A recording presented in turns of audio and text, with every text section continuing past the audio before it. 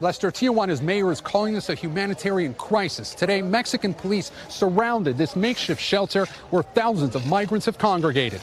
Officers are trying to keep the peace after hundreds of people rushed the U.S. Mexico border yesterday.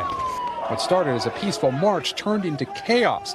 U.S. authorities fired tear gas at mostly adult males, but some of it hit women and children, including Maria Meza, her escape captured in this dramatic photo. We caught up with her today. When I see that photo, I just want to cry, she says, claiming that she wasn't crossing the border illegally, but trying to reach it to apply for asylum. More and more of these tents are springing up at this shelter. U.S. authorities are processing less than 100 asylum applications a day. So this is a backlog with no end in sight. Gabe Gutierrez, NBC News, Tijuana, Mexico.